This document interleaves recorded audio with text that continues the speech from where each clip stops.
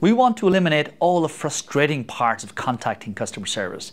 The queuing, the frequent transfers, the endless repeating, the dropped calls and dropped live chats, and the frustration of what can sometimes be a hit or miss process getting an answer.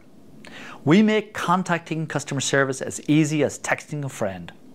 We use AI to make it easy to find answers and frequent questions and we automate as much as possible using bots and AI so that customers get the service they want at any time they want it.